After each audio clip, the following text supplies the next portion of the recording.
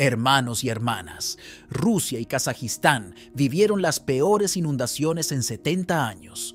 Ríos desbordados, sumergiendo ciudades en cuestión de horas. Miles de personas fueron evacuadas mientras el agua arrasaba hogares, tierras de cultivo e infraestructuras críticas. Desde escenas impactantes, donde los residentes remaban por las calles como si fueran ríos, hasta la ruptura de presas en el río Ural este evento sin precedentes plantea preguntas urgentes sobre el futuro. ¿Es esta una advertencia de la naturaleza? ¿Un llamado de atención sobre el cambio climático? ¿O es algo más? Acompáñanos mientras exploramos el impacto devastador de estas inundaciones y qué significan para nuestro futuro. En los montes Urales, el rápido deshielo de la nieve desbordó ríos caudalosos, miles de personas evacuadas en una operación de emergencia sin precedentes. El agua de deshielo desbordó decenas de asentamientos en los montes Urales, Siberia y zonas de Kazajistán cercanas a ríos como el Ural y el Tobol, alcanzando los niveles más altos jamás registrados. Las regiones de Kran y Tuman y el norte de Kazajistán quedaron devastadas, miles evacuados. Las aguas crecientes inundaron hogares, tierras de cultivo e infraestructuras. En Oremburgo, el nivel del río Ural alcanzó 9.3 metros, superando el nivel crítico establecido. El gobernador regional instó a los residentes en zonas de riesgo a evacuar inmediatamente. Para mitigar el desastre, se reforzaron las presas y los diques. Sin embargo, el río Ural rompió una presa cerca de Orsk, inundando la ciudad al sur de los Urales. Las comunidades quedaron sumergidas y los residentes buscaron refugio en zonas más altas. El gobierno ruso declaró el estado de emergencia y lanzó operaciones de rescate extensivas.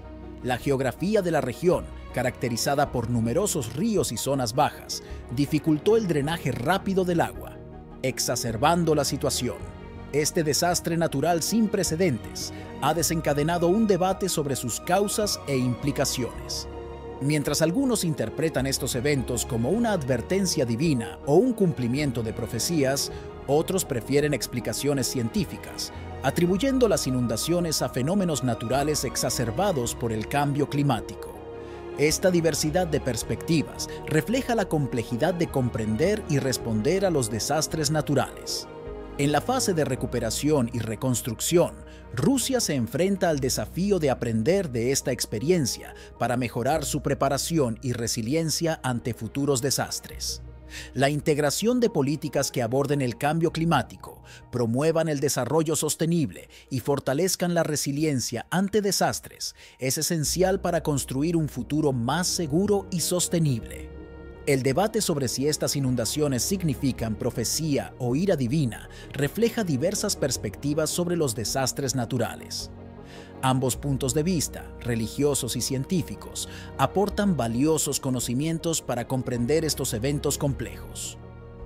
Las inundaciones de 2024 en Rusia y Kazajistán subrayan la importancia de la preparación y la resiliencia. Nuestra capacidad para enfrentar estos desafíos dependerá de un enfoque equilibrado que combine conocimientos científicos, planificación estratégica y para algunos la consideración de dimensiones espirituales o proféticas. Estos eventos nos recuerdan historias bíblicas, como el gran diluvio en los tiempos de Noé.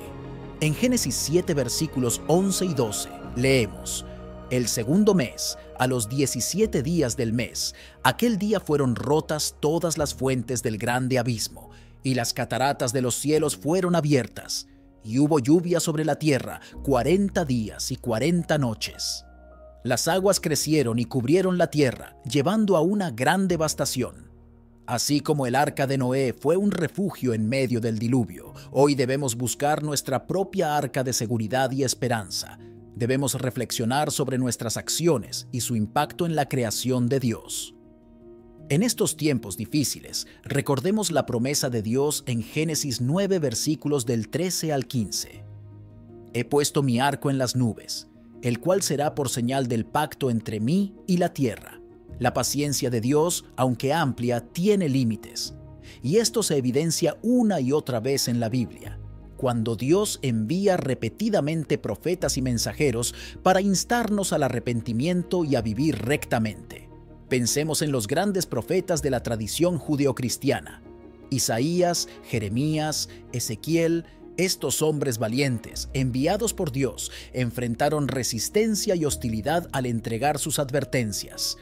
Como dice Isaías, Buscad al Señor mientras pueda ser hallado, llamadle en tanto que está cercano. Isaías 55, versículo 6. Pero sus mensajes fueron claros. La desobediencia continua y la corrupción llevarían a consecuencias catastróficas. Recordemos la destrucción de Sodoma y Gomorra, un ejemplo vívido donde la paciencia divina se agotó. Esas ciudades sumidas en la inmoralidad fueron destruidas debido a sus persistentes comportamientos pecaminosos. La paciencia de Dios tiene límites. En el Nuevo Testamento, las enseñanzas de Jesús reflejan este mismo tema. Jesús, nuestro Salvador, advierte sobre el juicio venidero y la necesidad de arrepentirse.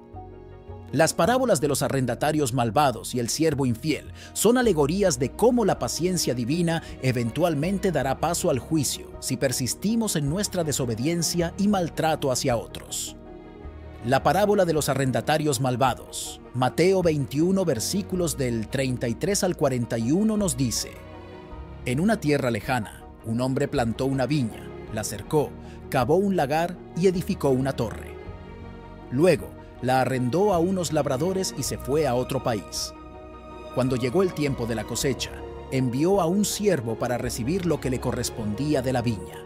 Pero los labradores, en lugar de darle al siervo lo debido, lo golpearon y lo enviaron con las manos vacías. El dueño de la viña, con paciencia, envió a otro siervo, pero estos labradores también lo maltrataron y lo humillaron envió a otros más. Algunos fueron golpeados y otros no volvieron. Finalmente, el dueño decidió enviar a su propio hijo pensando, seguramente respetarán a mi hijo. Pero no, al ver al hijo, los labradores malvados se dijeron, este es el heredero, vamos a hacerle daño y así la herencia será nuestra. Y así lo hicieron. Jesús, al contar esta parábola, nos está enseñando una lección profunda. Nos muestra la persistencia del amor y la misericordia de Dios, quien envía a sus siervos una y otra vez para llamarnos al arrepentimiento y a la obediencia, pero también nos revela los límites de la paciencia divina, como en la parábola, donde los labradores infieles enfrentaron la justicia del dueño de la viña. Así también la humanidad enfrentará el juicio justo de Dios si persiste en el pecado y en rechazar a su Hijo, Jesucristo. El mensaje de Jesús no es solo sobre el reino venidero de Dios, sino también sobre la urgencia moral de alinear nuestras vidas con la voluntad divina. Debemos arrepentirnos y vivir según los mandamientos de Dios para evitar su ira. Este es un llamado a la reflexión y al cambio no esperemos a que la paciencia de Dios se agote. Arrepintámonos de nuestros pecados, volvamos a Él con corazones sinceros y vivamos de acuerdo a su voluntad. Porque, aunque Dios es amoroso y paciente, también es justo y no tolerará la desobediencia indefinidamente.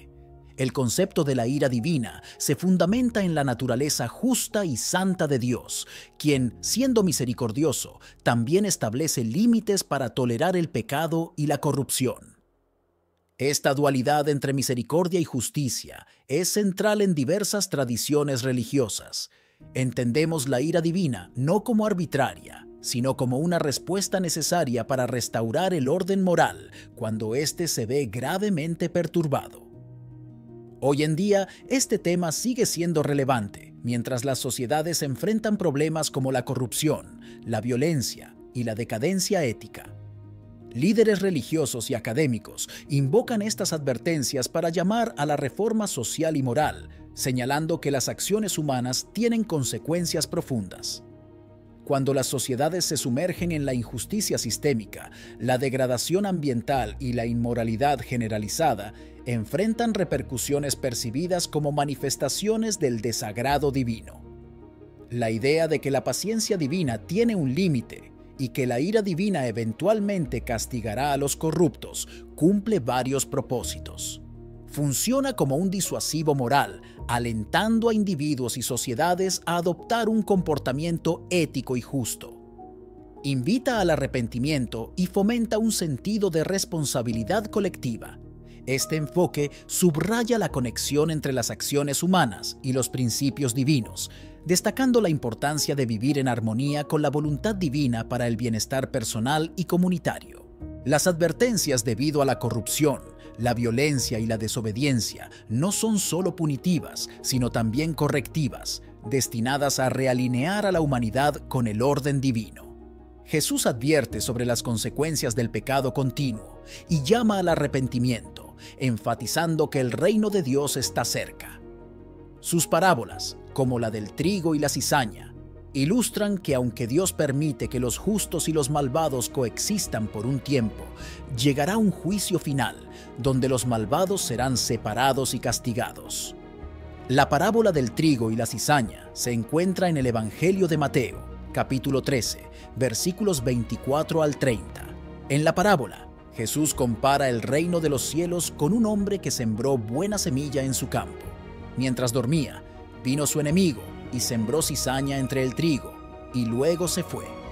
Cuando el trigo creció y comenzó a formar espigas, también apareció la cizaña. Los siervos del dueño del campo le preguntaron si debían arrancar la cizaña, pero él les dijo que no lo hicieran para evitar dañar también el trigo. En cambio, les instruyó que dejaran que ambos crecieran juntos hasta la cosecha, y entonces separarían la cizaña para quemarla y recogerían el trigo en su granero. Así como en la parábola, en el mundo, tanto el bien como el mal coexisten. Esto refleja la realidad de que en la vida habrá tanto personas justas como personas injustas, y que el juicio final es el momento en que Dios separará a unos de otros. Enseña la paciencia de Dios al permitir que la cizaña crezca junto con el trigo hasta el tiempo de la cosecha. Esto muestra que Dios otorga tiempo para que las personas se arrepientan y cambien su camino antes de que llegue el juicio final. Aunque el mal existe en el mundo, Dios tiene un plan para eliminarlo en el momento apropiado. La cosecha representa el juicio final, cuando Dios separará a los justos de los injustos, los justos serán reunidos en el reino de Dios, mientras que los injustos enfrentarán la condenación. Esta imagen refleja la idea de que cada persona será responsable ante Dios por sus acciones y decisiones. También invita a los creyentes a reflexionar sobre sus propias vidas. ¿Somos trigo o cizaña en el campo de Dios? ¿Estamos viviendo de acuerdo con los principios del reino de Dios o estamos actuando en oposición a ellos? Las implicaciones filosóficas de la ira de Dios se entrelazan profundamente con la comprensión de la justicia divina y el orden moral. Cuando los humanos se sumergen en la corrupción, la violencia y la desobediencia, perturban el equilibrio y la armonía que Dios originalmente estableció. Así, la ira divina se presenta como una fuerza correctiva destinada a restaurar ese equilibrio perdido. La explotación desenfrenada y la degradación de los recursos naturales, impulsadas por la codicia y el desdén hacia la creación de Dios, han causado daños ecológicos significativos. Esto se refleja en el cambio climático, la pérdida de biodiversidad y otras catástrofes ambientales. Teológicamente, estos eventos pueden ser interpretados como un tipo de castigo divino, un llamado a la penitencia y a la administración responsable de la tierra, recordando a la humanidad su deber de custodiar la creación y las consecuencias de no hacerlo. La injusticia social y la violencia también reflejan conductas corruptas que provocan la ira divina. Las desigualdades, la opresión y la corrupción sistemática socavan el tejido moral de la sociedad. Las enseñanzas religiosas a menudo subrayan que Dios defiende a los oprimidos y que aquellos que perpetran injusticias enfrentarán la retribución divina. Las tradiciones proféticas en muchas religiones enfatizan la importancia de la justicia social como parte integral de la voluntad divina y el establecimiento de una sociedad justa como reflejo del reino de Dios en la tierra. Muchas tradiciones religiosas tienen enseñanzas escatológicas que describen un juicio final o un día de rendición de cuentas, visto como la manifestación última de la justicia de Dios donde toda la humanidad será responsable de sus acciones. La idea de que Dios pueda poner fin a una era debido a la corrupción y la violencia desenfrenadas subraya la urgencia de la rectitud moral y las consecuencias del pecado colectivo. El ciclo de decadencia que observamos en el mundo contemporáneo se alinea estrechamente con las representaciones bíblicas de los últimos días. Jesús advirtió sobre tiempos donde el amor se enfriaría y la iniquidad abundaría. Hoy vemos sufrimiento generalizado, injusticia y colapso ambiental, reflejando estas advertencias proféticas. La respuesta divina a esta decadencia no es pasiva, sino activa. Es un lamento que llama al arrepentimiento y a retornar a la rectitud perdida. Dios lamenta el fracaso humano para sostener valores fundamentales como la justicia, la compasión y la administración responsable, nacidos del amor por la creación y el deseo de su redención. Reconocer estos signos como heraldos de los últimos días impulsa hacia la renovación moral y espiritual. Invita al arrepentimiento, a abandonar conductas destructivas y abrazar principios de amor, justicia y cuidado ambiental. Esta llamada no se limita a cambios personales, sino que demanda un cambio sistémico que aborde las causas profundas del desorden político, la desigualdad económica y la degradación ambiental.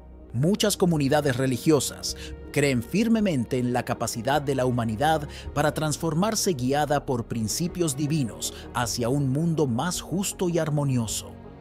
El lamento divino enfatiza la compasión y la solidaridad frente al sufrimiento global, instando a respuestas empáticas hacia aquellos afectados por desastres e injusticias.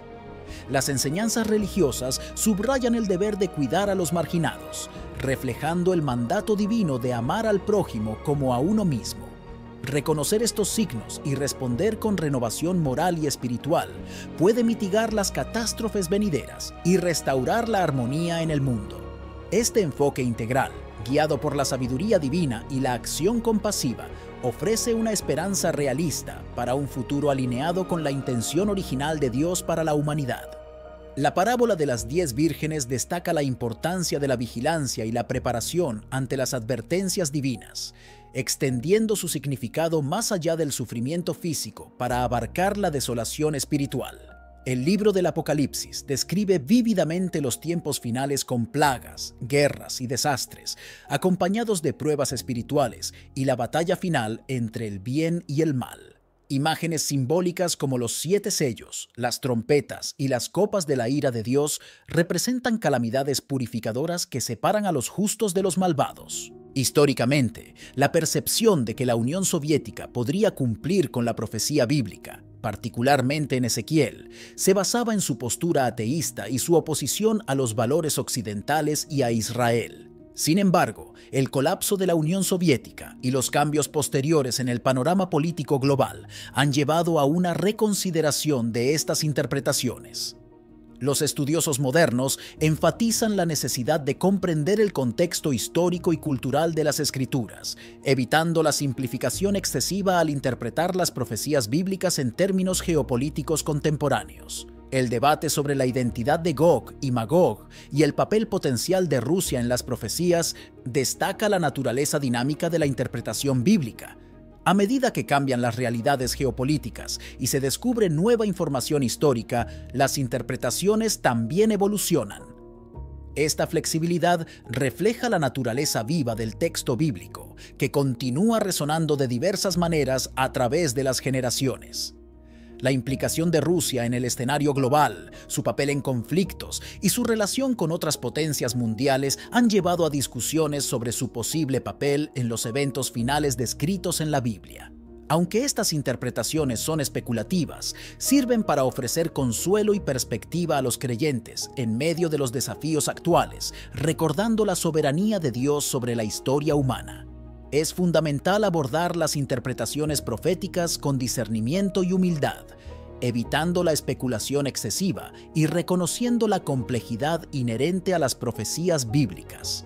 Las narrativas apocalípticas no deben provocar fatalismo, sino motivar a los creyentes a vivir con una fe activa, involucrándose en esfuerzos por la justicia, la paz y la reconciliación en el mundo.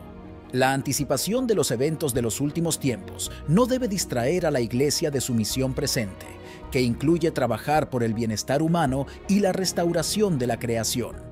A través de estas acciones, los creyentes pueden testimoniar la esperanza que sostiene sus corazones y ofrecer un testimonio vivo del amor redentor de Dios en un mundo necesitado de sanidad y gracia. Al examinar las implicaciones escatológicas de las acciones de Rusia, es crucial mantener una perspectiva equilibrada y evitar interpretaciones simplistas de las profecías bíblicas. Las narrativas apocalípticas son complejas y a menudo contienen simbolismos que pueden ser malinterpretados si se aplican de manera literal y directa a eventos contemporáneos. La literatura apocalíptica de la Biblia, aunque describe escenas de caos y destrucción, transmite un mensaje de soberanía divina y el triunfo del bien sobre el mal. La certeza de que Dios está en control, incluso en medio de la inestabilidad global, ofrece consuelo y esperanza a quienes enfrentan tiempos difíciles. Este enfoque invita a los creyentes a participar activamente en la obra continua de redención, colaborando con Dios para la transformación del mundo hacia su pleno propósito redentor. La profecía de la segunda venida de Jesucristo, un evento esperado y profundo en la escatología cristiana, recalca la promesa de un futuro restaurado y renovado. Este evento, mencionado en varios pasajes del Nuevo Testamento, incluidos los Evangelios y el libro de Apocalipsis, señala el cumplimiento último de la historia humana bajo el gobierno soberano de Dios.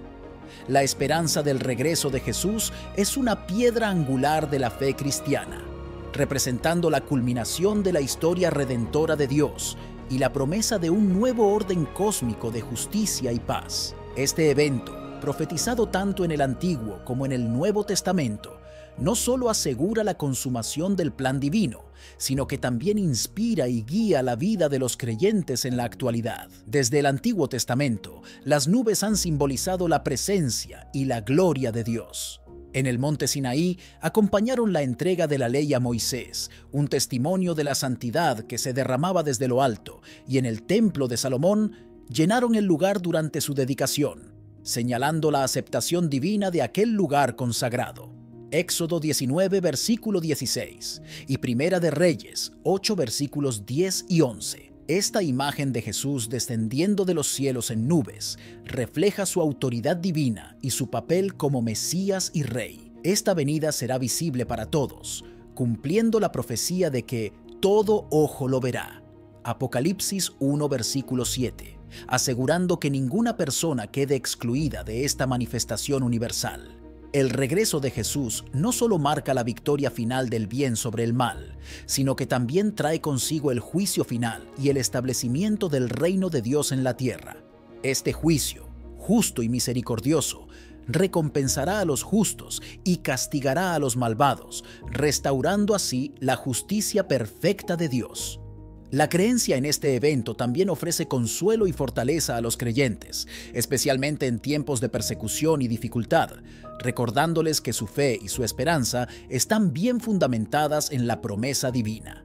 La expectativa del regreso de Jesús no es simplemente una espera pasiva, sino que implica una vida activa y comprometida según los valores del reino de Dios. Los creyentes son llamados a vivir en santidad y justicia, preparándose continuamente para la venida del Señor. Esta vigilancia espiritual no solo fortalece la fe individual, sino que también promueve una comunidad de creyentes que trabajan juntos para extender el amor y la verdad de Cristo en el mundo. Además, el regreso de Jesús, para los creyentes, es más que una promesa es el cumplimiento supremo de nuestra fe en la redención a través de Cristo. Valida nuestras esperanzas más profundas y asegura que el reino de Dios de paz y justicia prevalecerá finalmente. La visión de Jesús regresando en gloria también desafía a los creyentes a vivir de manera coherente con su llamado cristiano, mostrando amor y compasión hacia los demás y participando activamente en la misión de Dios en el mundo. La parábola de las ovejas y los cabritos enfatiza que el verdadero seguimiento de Cristo se manifiesta en acciones concretas de servicio y cuidado hacia los necesitados. En Mateo 25 versículos del 31 al 46, Jesús narra esta parábola, ilustrando el juicio final donde el Hijo del Hombre separa a las personas como un pastor divide las ovejas de los cabritos. Las ovejas, representando a los justos, son elogiadas por haber mostrado compasión y amor hacia los necesitados, reconocidos como acciones hechas hacia Jesús mismo. En contraste, los cabritos, representando a los malvados, son condenados por su negligencia hacia los necesitados, lo que equivale a haber ignorado a Jesús. Esta parábola enseña la importancia del amor práctico y la compasión hacia los demás como una expresión genuina de seguimiento a Cristo, señalando la realidad de un juicio final justo donde nuestras acciones hacia los menos privilegiados tienen una implicación eterna. Gracias por acompañarnos. Recordemos que, más allá del temor, la ira divina nos llama a la transformación personal y social, que podamos todos contribuir a un mundo mejor. Hasta pronto, que Dios les bendiga y les guíe siempre.